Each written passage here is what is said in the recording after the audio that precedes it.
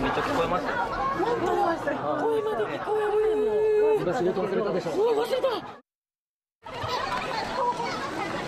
ライブがクライマックスに差し掛かったその時でした全国からはるばる訪れたファンのためにホールの扉が開かれ会場と一体になったんです